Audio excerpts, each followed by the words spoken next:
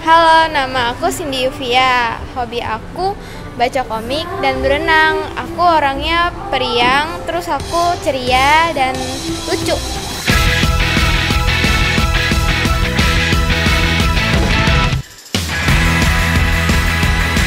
Motivasi aku, aku ingin menjadi seorang idol yang lebih baik lagi dan terus berusaha dalam menari dan menyanyi.